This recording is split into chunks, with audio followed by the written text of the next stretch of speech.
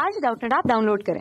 Doubtnut पर अपने सभी गणित, रसायन विज्ञान, भौतिक विज्ञान और जीव विज्ञान के डाउट्स का करो सफाया। बस प्रश्न की फ़ोटो खींचो, एक ही प्रश्न को क्रॉप करो और तुरंत वीडियो सोल्यूशन पाओ। अभी डाउनलोड करें। दोस्तों, आज हमें एक सवाल दिया गया है, जिसमें हमें कहा है कि बिंदु माइनस दो कौमा माइनस तीन और चार कौमा माइनस एक को मिलाने वाले रेखाखंड का मध्य बिंदु ज्ञात कीजिए। ठीक है? तो सबसे पहले हम देखें कि यदि आपके पास एक रेखाखंड है जो कि x1 कॉमा वाई वन और x2 कॉमा वाई टू को मिलाकर बना है। तो इसका मध्य बिंदु यदि हम x3 कॉमा वाई थ्री मान लें, ठीक है? यह मध्य बिंदु मान लें।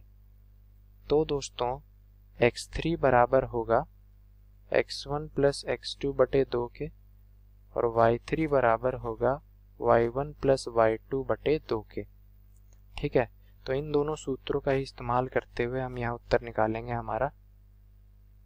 देखिए, एक बिंदु है माइनस दो कॉमा माइनस तीन और दूसरा है चार कॉमा माइनस एक।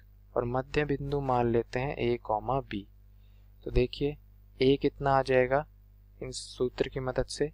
माइनस दो प्लस चार बटे दो और बी आ जाएगा माइनस तीन माइनस एक बटे दो। देखिए ए कितना आया। दो बटे दो यानी एक, और बी आ गया, माइनस चार बटे दो यानी माइनस दो।